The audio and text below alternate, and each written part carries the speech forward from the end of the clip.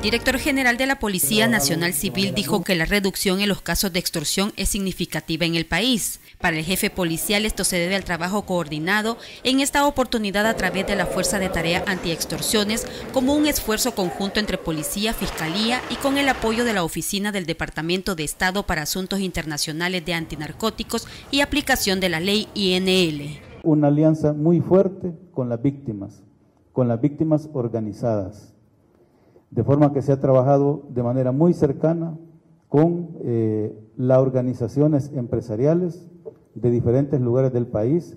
La FTA está compuesta por alrededor de 25 miembros de la PNC, entre investigadores, analistas, oficiales de operaciones tácticas y vigilancia, dos fiscales de la Unidad Antiextorsión y dos asesores de la Embajada de Estados Unidos. Esto ha permitido efectividad en resolver los casos de extorsión. Porcentaje de, de efectividad altísimo, expresado en el 96% de las personas sometidas a los procesos que finalizan con condenas. Acá, a cargo de esta fuerza, han estado los casos más importantes, los casos más relevantes que en nuestro país se han conocido en el tema del combate a la extorsión.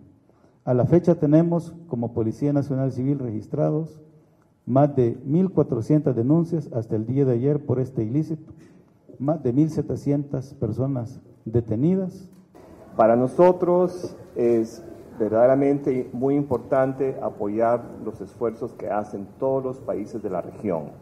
Este es un esfuerzo netamente salvadoreño, es un esfuerzo en que el pueblo salvadoreño, las instituciones salvadoreñas son las que han sufrido a sangre, sudor y lágrimas el, impacto de las actividades criminales. La FTA inició operaciones en junio del 2013 en el marco del Acuerdo a Socio para el Crecimiento.